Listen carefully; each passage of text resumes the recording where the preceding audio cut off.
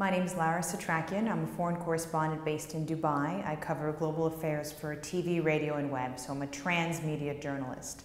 But on the side, my passion is finding ways to redesign the user experience of the news, to find ways to innovate around storytelling and just add more insight and understanding to everything we do.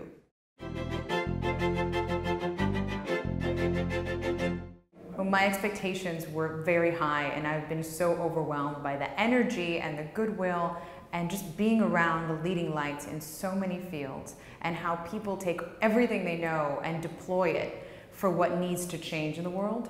That's the notion here that, that unites us all, that you take what you can do and you apply it to what should be.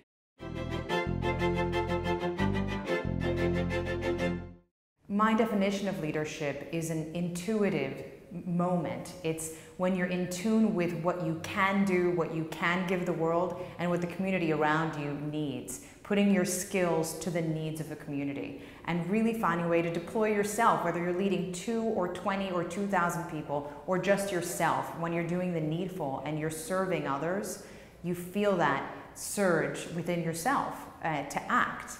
And that, for me, is leadership.